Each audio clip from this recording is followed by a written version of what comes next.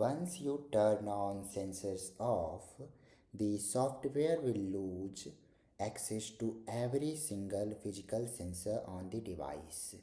Doesn't matter what apps are installed, they won't be able to use camera, microphone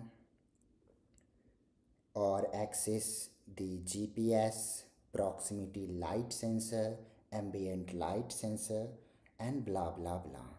To turn this on, go to settings, click on about phone, software information and spam click on build number.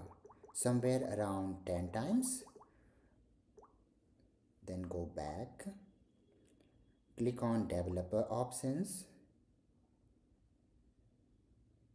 Quick settings developer tiles. Toggle on sensors off now click on edit edit. You may find somewhere here drag and drop from here to here quick access